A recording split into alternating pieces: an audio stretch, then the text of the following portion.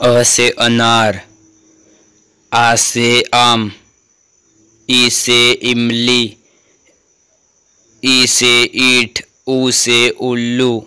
ऊ से ऊन रे से ऋषि, ऐसे एक, ऐसे ऐनक ओ से उखली औ से औज़ार, अंग से अंगूर, अहम से अहम।